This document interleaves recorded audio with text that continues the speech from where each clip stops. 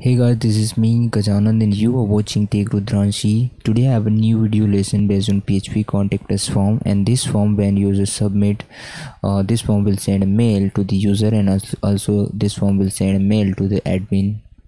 Right? So before to write code let me show you a quick demo and then we will write code. So test subject and uh, here is the recipient email address. Just i'm typing i'm a recipient and i'm also admin right? gmail.com and here is the query test query. And test questions anything.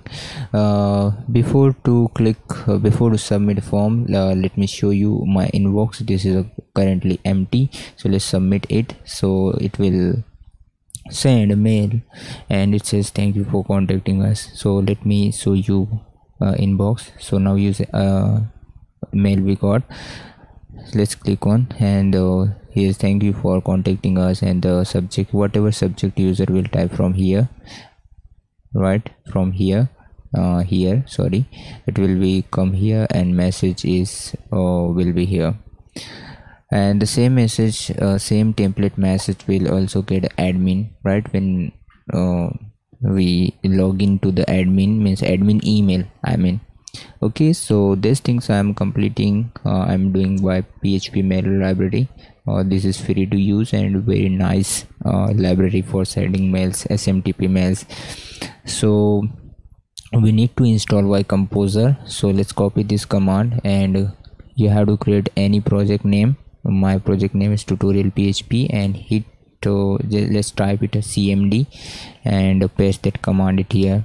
Right so the uh, uh, it will take uh, 10 to 20 seconds for downloading autoload.php if you have seen like this of uh, uh, this up message it means uh, it's uh, uh, installed successfully and this command will automatically generate vendor composer.json and composer.lock right? So these files and folders it will uh, this command will automatically generated right? And rest of the files you can you can download from a, a, a link in a video description right? I will put a link.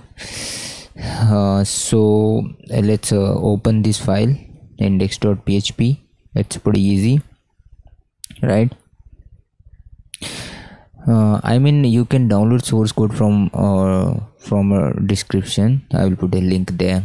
So here are the subject and uh, email and uh, question right? So its name is email its name is subject and its uh, query its name uh, here is query. So when submit a form let me show you right?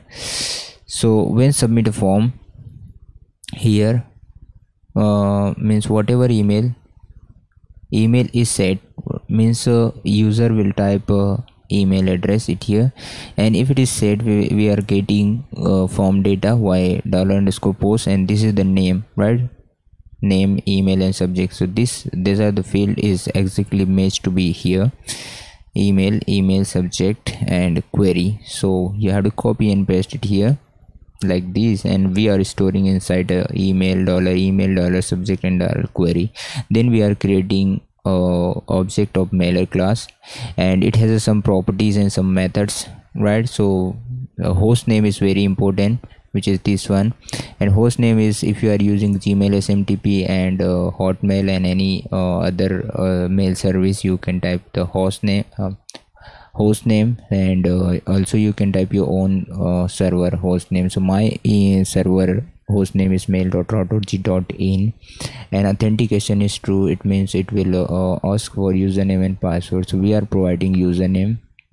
My username is this one and password i have removed because i'm making videos and i don't want to show you uh, my password. So you have to put your, your password. And uh, 587 is a perfect port. And this is from email. From email will so will be uh, it at here supported the rate whatever. And uh, guys so this is from email and subject. And uh, a very important uh, thing uh, is here template.php right so let me show you template.php template here.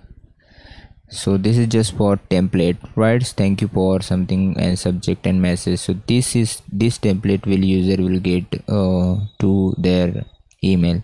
And here is the subject and message placeholder here we will replace right? Uh, like this up. Uh, whatever uh, subject and whatever placeholder is here in this file right? We, we are replacing um, message uh, subject and query right? And uh, this is a message. So in this file we are replacing this placeholders to whatever user will type it here. It will be replaced like this subject and query. Okay and uh, address. So this is the email right? Whatever uh, whatever email uh, user will type it here it will be uh, it here because we have a store uh, email uh, uh, and get the data from uh, form right? So this is email address of a user and manually i am typing the admin right of admin email and you can put your email and anybody's email it here. And if it has if it's not sent it means it has a problem. It will show the error message mail dot error info this property called the object um, this is object and called property of error info. And if it is success right it if it is success mean it it's uh, it will send a message uh, to the uh, it will send a mail right? Means successfully it will uh, send thanks.php redirect thanks.php i mean so let's see uh, thanks.php yeah this one. Thank you for contacting us. And uh, yeah it will redirect thank you dot thanks dot php right? So it's pretty easy. And one thing i forgot uh, which is this one. Uh, this is uh, very important. If you didn't use it means uh, php mailer uh, class uh, it's not available in index.php file. It will show error message right? So this is very very important you have to include right? And uh, just simply for making a templates a nice template i mean just making a good html like this. I'm using bootstrap and uh, here's the body and form. It's a css is not important. And uh, also i've included uh, autoload.php file.